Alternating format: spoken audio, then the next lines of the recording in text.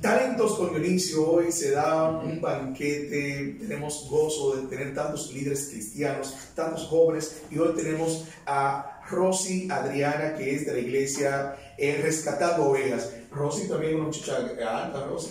Rosy, acá, eh, tú eres líder de la iglesia, líder juvenil. ¿Se goza la iglesia? Eh, ¿O es aburrida la iglesia? No, nos gozamos totalmente en vigilia las seis. Y se hace la chévere en la iglesia. Ah. Se bromea, chiste, todo. Se, yo veo que cristianos se ríen más que los no son cristianos. Nos gozamos.